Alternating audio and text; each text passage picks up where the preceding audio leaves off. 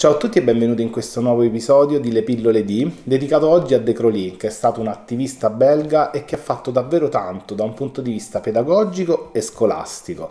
Infatti pone subito il focus della sua attenzione sul fatto che gli allievi non sono eh, minimamente valorizzati, anzi addirittura sono delle vittime della scuola tradizionale. E proprio per cercare di superare questo sistema così arcaico e che non valorizza gli alunni, bisogna rinnovarlo completamente. E questo si può fare, secondo De Crolly, cercando di unire due due momenti eh, in forma unitaria, due momenti di apprendimento che sono il momento soggettivo psicologico e quello oggettivo sociale. Per quanto riguarda il momento soggettivo psicologico, si tratta, secondo Tecrolì, di andare a soddisfare quelli che sono i bisogni di ogni singolo allievo. E questo come si può fare? Attraverso la creazione di centri di interesse, cioè eh, attraverso il fatto di andare proprio a stimolare l'interesse degli allievi.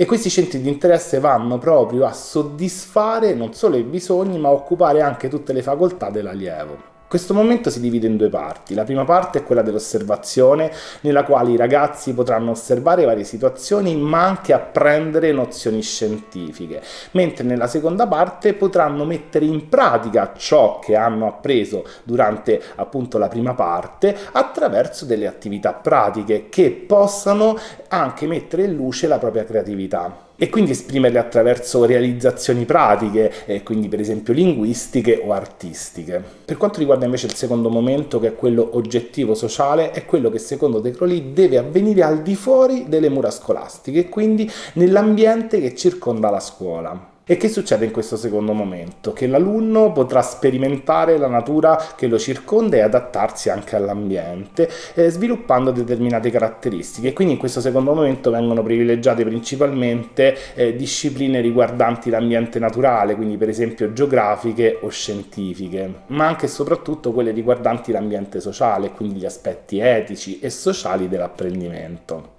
Un altro concetto molto importante per De Colori è quello di globalizzazione, intesa proprio come eh, la modalità di apprendimento che va dal tutto alle singole parti. E questo concetto di globalizzazione viene spiegato da De Crolì eh, esattamente con l'esempio del bambino che percepisce la mamma, la percepisce nel suo intero e non eh, nelle sue singole parti. Oppure quando noi ad esempio ci approcciamo alla visione di un quadro, lo guardiamo nel suo complesso e poi ci soffermiamo sui dettagli.